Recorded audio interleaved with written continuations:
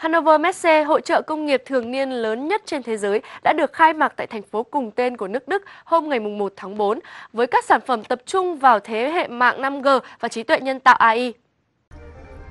Trong phát biểu khai mạc hội trợ kéo dài một tuần này, Thủ tướng Đức Angela Merkel đã kêu gọi các nước châu Âu phản ứng tích cực hơn với nền kinh tế kỹ thuật số và nhấn mạnh sự cần thiết chống lại chủ nghĩa bảo hộ.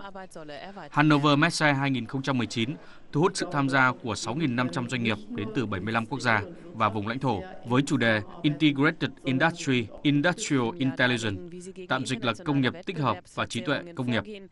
Hội trợ năm nay sẽ mang lại cho khách hàng tham quan một cái nhìn toàn cảnh về những tiến bộ mới nhất trên thế giới trong công cuộc phát triển công nghệ để ứng dụng trong sản xuất công nghiệp như hệ thống mạng 5G hay tích hợp AI. Theo ban tổ chức,